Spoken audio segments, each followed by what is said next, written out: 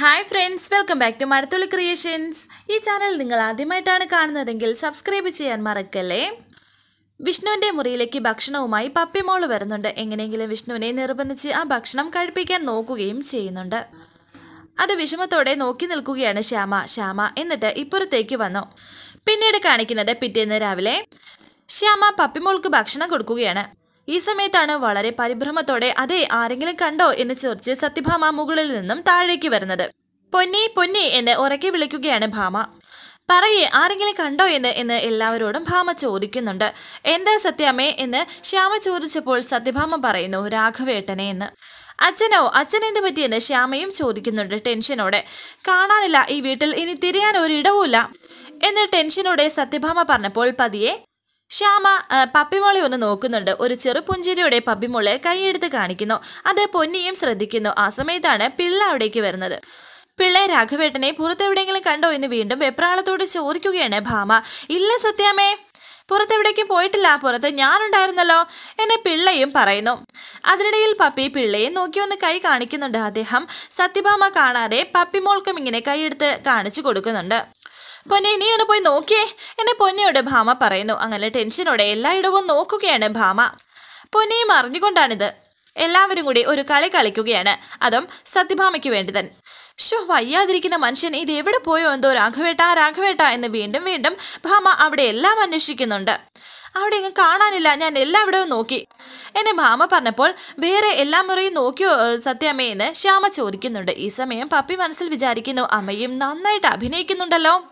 നോക്കിയെന്ന് ഞാൻ പറഞ്ഞില്ലേ എന്ന് വീണ്ടും സത്യഭാമ ശ്യാമയോട് പറയുന്നു. പോലീസിന് വിവരം അറിയിച്ചാലോ എന്ന് ഭാമ പറയുന്നു. സത്യാമ്മേ അച്ഛന്റെ ഫോണിലൊന്ന് വിളിച്ചു നോക്കിയായിരുന്നോ? എന്ന് ശ്യാമ പറയുന്നു. ഞാനത് ഓർത്തില്ല മോളെ. നീ എന്റെ ആ ഫോണിങ് എടുത്തോണ്ട് വാ എന്ന് ശ്യാമയോട് സത്യാമ്മ പറയുന്നുണ്ട്. അങ്ങനെ വെപ്രാളത്തോടെ തന്നെ ശ്യാമ ആ ഫോൺ എടുക്കാനായി പോകുന്നു. എന്റെ കൈയും കാലും ഓടുന്നില്ല. ഒറ്റയ്ക്ക് എവിടെയും പോവാത്ത മനുഷ്യനാ. കുറച്ചു നേരം നടക്കണമെങ്കിൽ പോലും ആൾ സഹായം വേണമല്ലോ. ഷോ ഇപ്പോൾ എവിടെയാണോ എന്തോ എന്നൊക്കെ ഇങ്ങനെ ടെൻഷനോടെ ഭാമയോർക്കുന്നു ഒന്ന് പെട്ടെന്ന് എടുത്തോണ്ട് വാ എന്റെ ഫോൺ എന്ന് വീണ്ടും ഭാമ വിളിച്ചു പറയുന്നു. ആ സമയം ഫോണുമായി ശ്യാമ അവിടെ എത്തി? ദാ സത്യാമ്മേ ഫോൺ എന്ന് പറഞ്ഞ് കൊടുക്കുകയാണ്. എന്നാൽ ഫോൺ വിളിച്ചിട്ട് ബിസിയും ഒന്നുകൂടി ഒന്ന് ശ്രമിച്ച് നോക്കൂ സത്യാമ്മേ. ഫോണിൽ ആരോടെങ്കിലും സംസാരിച്ചുകൊണ്ടിരിക്കുകയാണെങ്കിൽ കോൾ കാണുമ്പോൾ കട്ടക് ചെയ്തിട്ട് തിരികെ വിളിക്കുമെന്ന് ശ്യാമ പറയുന്നുണ്ട്. എന്നാൽ രണ്ടു തവണ വിളിച്ചിട്ടും ബിസിയാണ്. ചിലപ്പോൾ ഇങ്ങോട്ട് തിരിച്ച് വിളിക്കുകയായിരിക്കും. സത്യാമ്മയുടെ ഫോണും ബിസിയാണല്ലോ എന്ന് ശ്യാമ അങ്ങനെയൊക്കെ ആലോചിച്ച് സമയം കളയാൻ പറ്റൂടി. കാലിടറി എവിടെയെങ്കിലും വീണ് പോയതാണെങ്കിലോ? ഫോണ് കയ്യിന് തെറിച്ച് വീണ് പോയതാണെങ്കിലോ? അല്ലെങ്കിൽ ഫോൺ ആരെങ്കിലും എടുത്തോണ്ട് പോയോ? ചിലപ്പോൾ ഇനി അയാൾ സംസാരിച്ചുകൊണ്ടിരിക്കുകയായിരിക്കും ഫോണിൽ ഇനി വൈകിപ്പിക്കാൻ പറ്റില്ല. പോലീസിൽ കംപ്ലൈന്റ് ചെയ്യാമെന്ന് ഭാമ വിചാരിക്കുന്നു. പിള്ള വാ നമുക്ക് പോലീസ് സ്റ്റേഷനിലേക്ക് പോകാമെന്ന് ഭാമ പിള്ളയോട് പറയുന്നുണ്ട്. ആ സമയത്താണ് രാഘവൻ അവിടേക്ക് വരുന്നത്. രാഘവനെ രോഹിത് പിടിച്ചുകൊണ്ടുവരുന്നു ഇതെല്ലാം പപ്പയുടെ ഒരു നാടകമാണ്. അതെ ഒന്നും പറ്റിയില്ലല്ലോ എന്ന് ഭാമ രാഘവനോട് ചോദിക്കുന്നു. തുടർന്ന് വിഷ്ണു മുകളിൽ നിന്നും നോക്കുന്നുണ്ട്. രാഘവേട്ട ഒന്നും പറ്റിയില്ലല്ലോ എന്ന് ഭാമ വീണ്ടും വെപ്രാളത്തോട് ചോദിച്ചപ്പോൾ രാഘവൻ ഒരു കൂസലമില്ലാതെ പറയുന്നു എനിക്ക് എന്ത് പറ്റാനാ ഭാമേ? ഞാൻ എന്റെ പേടിച്ചെന്നറിയോ? ടെൻഷൻ കയറി എനിക്ക് എന്തെങ്കിലും സംഭവിച്ചു പോയിരുന്നെങ്കിലോ? എന്ന് ഭാമ പറഞ്ഞപ്പോൾ രാഘവൻ പറയുന്നു എന്തിനാ ഭാമ എന്ന്? വെറുതെ മറ്റുള്ളവരെയൊക്കെ പേടിപ്പിച്ചിട്ട്? രാഘവേട്ടൻ അറിയില്ലേ എനിക്ക് നെഞ്ചുണ്ടായ പിടിപ്പ്? ഡാ എങ്ങോട്ടാടാ അച്ഛനെ കൊണ്ടുപോയതെന്ന് രോഹിത്തിനോടും ഭാമ ചോദിക്കുന്നു. അല്ല എന്നും പുലർച്ചെ കുറച്ചു നേരം ശുദ്ധവായു ശ്വസിച്ച് നടക്കുന്നത് നല്ലതാണെന്ന് വൈദ്യരെ പറഞ്ഞു സത്യാമേ ഞരമ്പിലെ രക്തയോട്ടം കൂടിയാലേ വേഗം ഫലം കാണുമെന്നും പറഞ്ഞില്ലേ? ഇത് കേട്ട് ഭാമ പറയുന്നു എന്നാലും നിനക്ക് എന്നോടൊരു വാക്ക് പറഞ്ഞിട്ട് പോവാമായിരുന്നില്ലേ? പത്ത് പതിനഞ്ച് മിനിറ്റിനുള്ളിൽ ഒരു ആഴ്ചത്തെ പേടിയാണ് ഞാൻ പേടിച്ചു കൂട്ടിയത്. സത്യ പറഞ്ഞ പോലെ ഞാൻ ഇപ്പോഴാണ് ഇടപെടേണ്ടത്. എന്നെ പപ്പി പറയുന്നുണ്ട്. പപ്പി മനസ്സിൽ വിചാരിച്ചിട്ട് ഇങ്ങനെ സത്യാമ്മയോട് പറയുന്നു. സത്യാമ്മയെ ഒരു സംശയം. അച്ചാച്ചനെ പതിനഞ്ച് മിനിറ്റ് കാണാതായപ്പോൾ സത്യാമ്മ ഒരുപാട് പേടിച്ചെന്ന് പറഞ്ഞില്ലേ? വല്യച്ഛൻ ചേച്ചിയമ്മയെ കാണാതിരുന്നിട്ട് ആറ് വർഷമായില്ലേ? അങ്ങനെയാണെങ്കിൽ വല്യച്ഛൻ എന്തുമാത്രം പേടിച്ചിട്ടുണ്ടാവും? വല്യച്ഛന് മാത്രം എന്താ സങ്കടമൊന്നും ഇല്ലേ? വല്യച്ഛനും സത്യാമ്മയെ പോലെ അല്ലേ? വല്യച്ഛന് ഹൃദയം ഇല്ലേ സത്യാമ്മേ? ഇത് കേട്ട് രാഘവൻ പറയുകയാണ് ഭാമയോട്. മറുപടി കൊടുക്ക് ഭാമേ നിന്നോടാ അവൾ ചോദിക്കുന്നത്. സത്യഭാമ പാപ്പയോട് പറയുകയാണ് മുതിർന്നവരുടെ കാര്യത്തിൽ കുഞ്ഞുങ്ങൾ ഇടപെടണ്ട. ബ്രേക്ക്ഫാസ്റ്റിന് എന്താണെന്നും ഹോംവർക്ക് എന്താണെന്നും അറിഞ്ഞാൽ മതി. ഭാരിച്ച കാര്യങ്ങൾ തലയിലെടുത്ത് വെക്കേണ്ട കേട്ടല്ലോ? സത്യമേ ഞങ്ങളൊക്കെ മുതിർന്നവരല്ലേ? ഇനിയും ശിക്ഷ തുടരണോ? ആറ് വർഷമായില്ലേ വനവാസം? ഇനിയും ഇതൊന്ന് അവസാനിപ്പിച്ചൂടെ?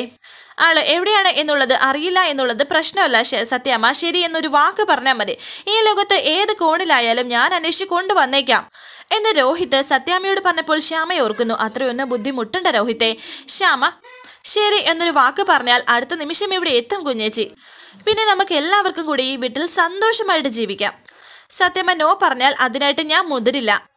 പേടി എനിക്ക്. പിന്നെയും എന്തെങ്കിലും പ്രശ്നമുണ്ടായി പപ്പിമോളെയും രോഹിത്തിനെയും ഒക്കെ എനിക്ക് നഷ്ടപ്പെടുമോ എന്ന്. രോഹിത് പറയുന്നു അന്വേഷിച്ച് കണ്ടുപിടിക്കുക എന്നുള്ളത് വലിയ കാര്യമല്ല സത്യാമ്മേ ആളെ അന്വേഷിച്ചെന്ന് ആളെ വീട്ടിലേക്ക് കൊണ്ടുവന്നോളൂ എന്ന് സത്യാമ്മയുടെ ഒരു വാക്ക് അതേ വേണ്ടു. ഒന്ന് സമ്മതിക്കേണ്ട ഭാമ ഇനി എന്തിനായി പിടിവാശി? എന്ന് രോഹിത് രാഘവൻ ചോദിക്കുന്നു. രാഘവേട്ട മടക്കിക്കൊണ്ടുവരാൻ പറയുന്ന ചേച്ചിയമ്മേ ഈ കുഞ്ഞെ കണ്ടിട്ട് പോലുമില്ല. അവളുടെ കാര്യത്തിൽ ഞാൻ എടുത്ത തീരുമാനം ശരിയായിരുന്നു എന്ന് തന്നെയാണ് ഞാൻ ഇപ്പോഴും വിശ്വസിക്കുന്നത്.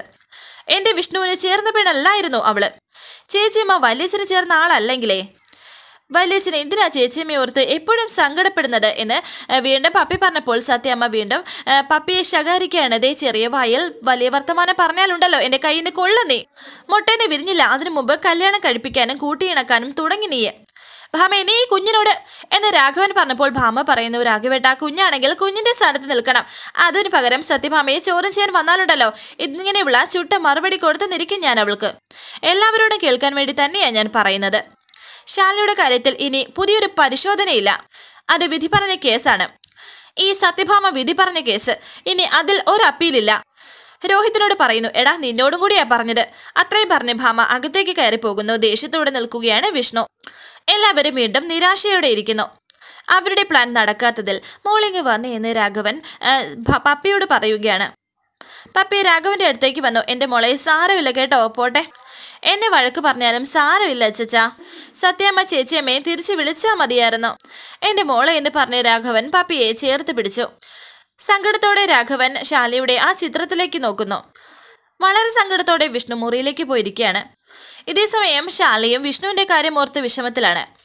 പിന്നീട് കാണിക്കുന്നത് പിറ്റേ ദിവസവും വിഷ്ണു മുറിയിൽ ഇങ്ങനെ അങ്ങോട്ടും ഇങ്ങോട്ടും നടക്കുന്നു. സത്യഭാമ പറഞ്ഞതിനെ കുറിച്ചാണ് വിഷ്ണു ഇപ്പോഴും ഓർക്കുന്നത്.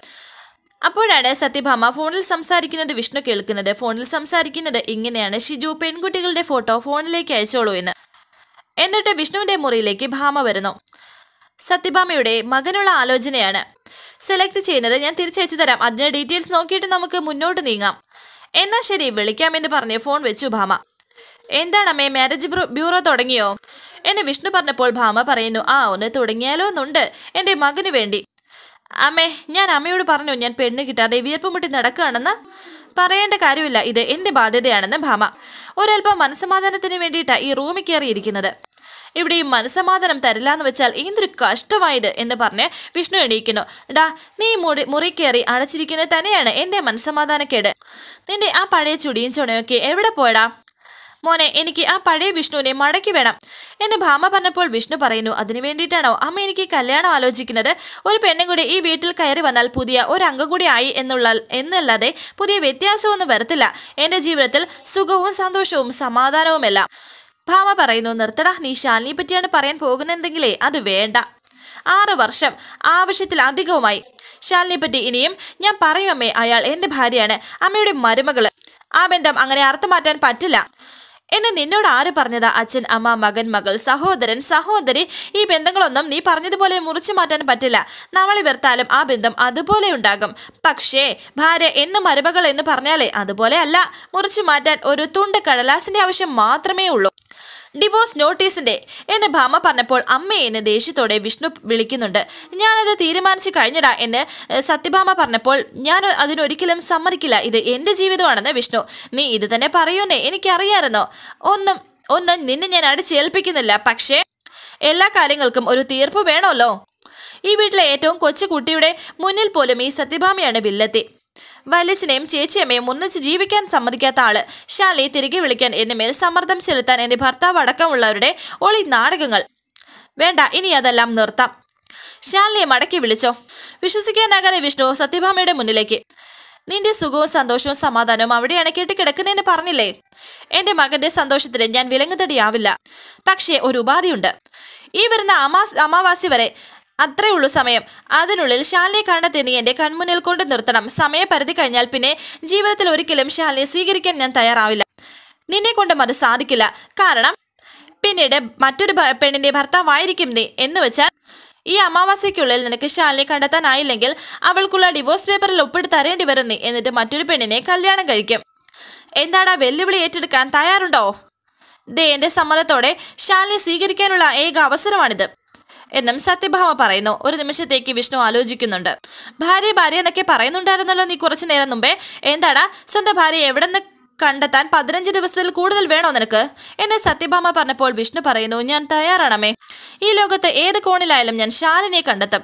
ആ ആത്മവിശ്വാസത്തിന് ഒരു സെല്യൂട്ട്. ആറ് വർഷം നിനക്ക് വിവരമൊന്നും ഇല്ലാതിരുന്ന ഭാര്യയെ നീ കുറഞ്ഞ ദിവസത്തിനുള്ളിൽ കണ്ടെത്തുമെന്ന് ഭാമ പറഞ്ഞപ്പോൾ വിഷ്ണു പറയുന്നു കണ്ടെത്തുമേ എനിക്ക് ആത്മവിശ്വാസമുണ്ട്. എനിക്ക് ഉണ്ടടാ ആത്മവിശ്വാസം എന്ന് പറഞ്ഞ് ഭാമ ഒരു പരിഹാസത്തോടെ അവിടെ നിന്ന് പോകുന്നു. ഒപ്പിടാൻ തയ്യാറായിരുന്നോ വിഷ്ണു? ഡിവോഴ്സ് പേപ്പറുകളെല്ലാം ശരിയാക്കി വെച്ചിരിക്കുകയാണ് എന്നും ഭാമ പറയുന്നു. എന്നിട്ട് സത്യഭാമ അവിടെ നിന്ന് പോയി. എന്നാൽ ശാലിനെ ഇനി എവിടെ പോയി കണ്ടെത്തും എന്നൊരു ടെൻഷനിലാണ് വിഷ്ണു. ഈ സമയം കുടുംബശ്രീ വീട്ടിൽ ശാരദാമ്മ ശാലിനിയോട് പറയുന്നു എല്ലാം അറിഞ്ഞല്ലോ നീ. എടി നിന്റെ ഭർത്താവിനെ പെണ്ണ് ആലോചിക്കുന്നു അത് മുടക്കാൻ ശ്രമിക്കുന്നതോ നിന്റെ മോളും നിന്നെ ആ വീട്ടിലേക്ക് തന്നെ തിരികെ എത്ത എത്തിക്കാനുള്ള ഐഡിയ പറഞ്ഞു കൊടുക്കുന്നത് നിന്റെ രണ്ടാമത്തെ മകളും. അവർക്ക് അവർക്കറിയില്ലല്ലോ രണ്ടാളും നിന്റെ തന്നെ മക്കളാണെന്നും തിരഞ്ഞുകൊണ്ടിരിക്കുന്നത് നിന്നെയാണെന്നും അമ്മേ സത്യങ്ങാനം കേട്ടാലോ എന്ന് ഷാലി പറയുന്നുണ്ട്. ഈ ആറു വർഷം ഞാൻ ഇവിടുന്ന് മാറി നിന്നതും അമ്മ തമിഴ്നാട്ടിൽ പോയി ഹോട്ടൽ നടത്തിയതും എന്തിനാ? എല്ലാം ഇപ്പോൾ വെറുതെയാവും. അമ്മേ പപ്പി ഇപ്പോൾ എന്റെ മോളല്ല അവൾ ശ്യാമയുടെ മകളാ. ഞാൻ എത്ര വട്ടം പറയണോ അമ്മയോട്? ശരി ഇവിടെ ബാക്കി എല്ലാത്തിനും സമാധാനം പറഞ്ഞേ എന്ന് ശാരദാമ്മ പറഞ്ഞപ്പോൾ ശാലിനി പറയുന്നു അമ്മയ്ക്ക് ഇപ്പോൾ എന്താ അറിയേണ്ടത്? എടി നീ എന്താ ചെയ്യാൻ പോകുന്ന ഇനി? അതാ എനിക്ക് അറിയേണ്ടത്. ഇത് കേട്ട് ശാലിനി പറയുന്നു ഞാൻ നീ പ്രത്യേകിച്ച് ഒന്നും ചെയ്യാൻ പോകുന്നില്ല. ഇതുവരെ എന്ത് ചെയ്തോ ഇനി അങ്ങോട്ട് അതും തുടരും. ഓ അപ്പോൾ സത്യാമ്മ ഇനിയും ഇത് ചെയ്തുകൊണ്ടിരിക്കുന്നത് തന്നെ തുടരട്ടെ എന്നല്ലേ? അമ്മേ സത്യാമ്മയുടെ കാര്യം സത്യാമ്മയല്ലേ തീരുമാനിക്കുന്നതെന്ന് ശാലിനി? എടി സത്യാമ്മയുടെ കാര്യം അല്ലല്ലോ. ആണെങ്കിൽ മനസ്സമാധാനം ഉണ്ടായിരുന്നു. മറ്റു പലരുടെയും കാര്യങ്ങൾ തീരുമാനിക്കുന്നതും അവരുടെ ജീവിതത്തിൽ തലയിടുന്നതും സത്യാമ്മയല്ലേ? നീ പറഞ്ഞില്ലേ ആറ് വർഷം നീ ഇവിടുന്ന് മാറി നിന്ന കഥയും ഞാൻ തമിഴ്നാട്ടിൽ പോയി ജോലി ചെയ്തതുമൊക്കെ? അതൊക്കെ ഈ പറഞ്ഞ സത്യാമ്മ കാരണമാ അതെ സത്യാമ്മ കാരണമാണ് ഞാൻ ഇവിടേക്ക് മടങ്ങി വന്നത് എന്നും അമ്മ മറന്നു എന്ന് ശാലിനി പറഞ്ഞപ്പോൾ ശാരദാമ്മ പറയുന്നു എടി അത് സത്യാമ്മ അറിയുന്നുണ്ടോ? അവർക്ക് വേണ്ടി ഒരുപാട് കാര്യങ്ങൾ നീ ചെയ്തിട്ടുണ്ട്. ഇനിയും നീ ചെയ്യും. അതിൽ ഒരെണ്ണം ഒരൊറ്റ ഒരെണ്ണം അവർക്ക് അറിയാമോടി? മോളെ അവർക്ക് നീ ചെയ്തു കൊടുത്ത ഉപകാരങ്ങൾ അവരുടെ ഭർത്താവോ മകനോ മകളോ മരുമകനോ ആരെങ്കിലും അവർക്ക് ചെയ്തു കൊടുത്തിട്ടുണ്ടോ? അവരുടെ മകനെ മരു- മരുമകനെയും കൂട്ടി അവർക്ക് ഒന്നിച്ചൊരു ജീവിതം ഉണ്ടാക്കി കൊടുത്തു. മകളുടെ ഗർഭം സംരക്ഷിച്ചു. അവരുടെ പ്രസവം എടുക്കാൻ പോലും നീ വേണ്ടി വന്നു. അവരുടെ മരുമകളുടെ ഗർഭം അലസി എന്ന് കേട്ട് അവരുടെ ചങ്ക് പൊട്ടി. ഒന്നും സംഭവിക്കാതിരിക്കാൻ വേണ്ടി നൊന്നു പെറ്റ കുഞ്ഞ് അനിയത്തിക്ക് ദാനം ചെയ്തു. എടി അവരുടെ കല്ല് പിളർക്കുന്ന കൽപ്പന? നിന്റെ ഭർത്താവ് ലംഘിച്ചാൽ അവർ ചത്തുകളയും എന്ന് ഭയന്ന് ഭർത്താവിനെയും കുഞ്ഞിനെയും കുടുംബവും എല്ലാം നീ ഉപേക്ഷിച്ചു. എന്റെ പൊന്നുമോളെ ഇത്രയൊക്കെ ആര് ചെയ്യൂടെ? എടി നീ അവർക്ക് ഉപകാരം മാത്രമേ ചെയ്തിട്ടുള്ളൂ എന്ന് അവരൊഴികെ ബാക്കിയുള്ള എല്ലാവർക്കും അറിയാം. മറ്റാരെങ്കിലും പറഞ്ഞു കൊടുത്താൽ അവർക്ക് അത് മനസ്സിലാവത്തുമില്ല. അവരെ സംബന്ധിച്ച് നീ അവരുടെ ശത്രു മാത്രമാണ് ആജന്മ ശത്രു. ഇത് കേട്ട് ശാലി വളരെ സങ്കടത്തോടെ ആലോചിച്ച് നിൽക്കുകയാണ്. വരാനിരിക്കുന്ന പുതുപുത്തൻ എപ്പിസോഡുമായി വീണ്ടും കാണാം. Thank for watching please subscribe like share my channel